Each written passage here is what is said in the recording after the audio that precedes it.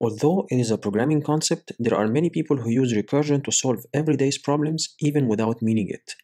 In this video, you will understand how this could be possible, and we will dig deeper in the concept of recursion to fully understand it. So, what is recursion? Recursion is calling the function to itself. Consider, for example, this case. You are driving your car in a 5-lane road and you are currently on the most left lane. You would like to take an exit, so you need to go to the most right side of the road. But you have a big problem. Your right hand side mirror does not cover the whole 5 lane road. It can show you only whether there is a car coming on one lane closest to you. So you came up with a good idea. You will keep looking in the right mirror, see if there is a car coming in the closest lane right to you. If not, you jump to that lane and then look again at the mirror to see whether there is a car coming in the lane closest to you. If not, you jump, and so on until you reach the exit. That is a perfect example to a real-world implementation of recursion. Notice you have kept doing exactly the same action every time. If the lane is empty, go right, and so on until you reach the exit. But how do you know that you are standing in front of a recursive problem? That's easy. A problem should meet two criteria to be eligible for a recursive solution. First, the solution of the problem should depend on the collective solutions of subproblems to this problem. In our case, going from the most left to the most right of the road means moving step by step from lane to another using the mirror which covers only one lane. Second, there should be a stopping criteria. You cannot simply keep going to the right lane indefinitely you have to stop when you reach a certain target. If we imagine a pseudocode implementation of our car lane problem, it would look similar to this. First things first, we start our function by checking if we reached the exit. If yes, we celebrate. Otherwise, if the rightmost lane is empty, we jump to it and call exit road function again to keep trying. If the rightmost lane is not empty, then we will not be able to exit the road. Note that what we are showing here is just pseudocode and it is missing some parts. So in other words, please don't try to run this function. It will not work. This is just to give you a general idea what recursion is. But we will very shortly discuss a real recursive example with the full code implementation. This here is a very important part of a recursive function. This is called the base case. Here we check if we reached our target. And what is the point of that? The point is, if we don't do that, the function will recurse indefinitely with no stopping point. In this case, the program will crash as it will consume all the allowed memory before doing what it's supposed to do. The base case usually comes the first thing in a recursive function. Forming the right base case is in many cases the trickiest part of a recursive function.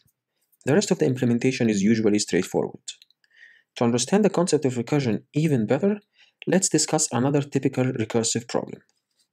Problem says, implement a function that calculates the number n in a Fibonacci series.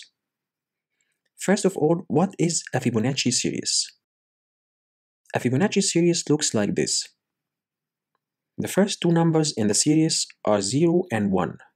Then, starting from the third number in the series, each number is calculated as the sum of the previous two numbers. So 1 is a sum of 0 plus 1, 2 is a sum of 1 plus 1, 3 is a sum of 2 plus 1, and so on. This problem is perfectly eligible for a recursive solution. But why? Simply because, first, the solution of the problem always depends on the solutions of the smaller subproblems. The number n in a Fibonacci is the sum of the previous two numbers and each of these numbers are also calculated by summing up the previous two numbers and so on. Second, we have a stopping point.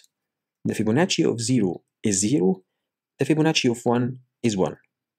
So, to calculate number n in a Fibonacci, we can basically keep summing up the previous two Fibonacci numbers till we reach our stopping point, which is index number 0 or index number 1, and for those we already have a solution. Also, by looking at the mathematical definition of the Fibonacci series, we will figure out easily that it is a recursive problem. Fibonacci of 0 is 0, Fibonacci of 1 is 1, otherwise Fibonacci of n is the sum of the Fibonacci of n minus 1 and Fibonacci of n minus 2. Now let's implement the solution. Let's create a function called Fibonacci which takes an integer parameter n. First, we define our base case, the stopping point. If n equals 0, then our solution is 0. If n equals 1, then our solution is 1. Otherwise, our solution is the Fibonacci of n minus 1 plus the Fibonacci of n minus 2. And that's it. That is our elegant and straightforward solution. I'm a little confused now. Can you please explain more? Sure, let's trace our solution to get a better understanding of it. Let's say we need to calculate the Fibonacci of 4. So n is passed to the function with the value of 4. If n is 0, that is false. If n is 1, also false, then we end up returning Fibonacci of n minus 1 plus Fibonacci n minus 2, which are Fibonacci 3 plus Fibonacci 2. To calculate Fibonacci 3, again, n is not 0 and is not 1, then we return the Fibonacci 2 plus Fibonacci 1.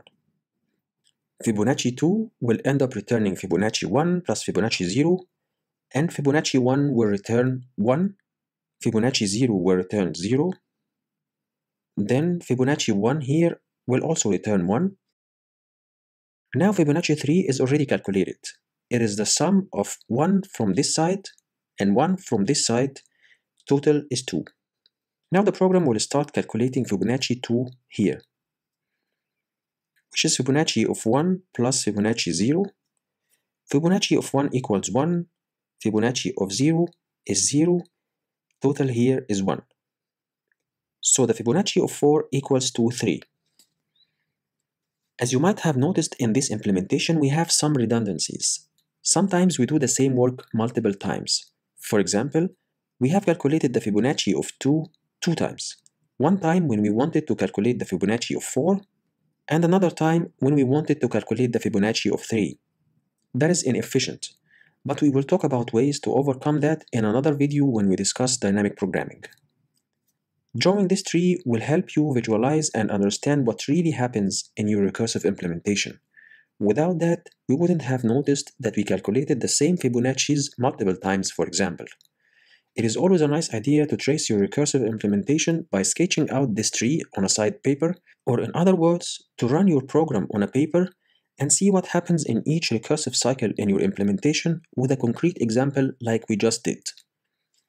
It is important to note every recursive problem could be solved iteratively using loops. This means using recursion will never be your only way to solve a problem, but for some problems the recursive solution comes so naturally. You will smell the recursiveness in the problem, and by checking against the criteria that we just discussed earlier, we can find if we can apply recursion or not.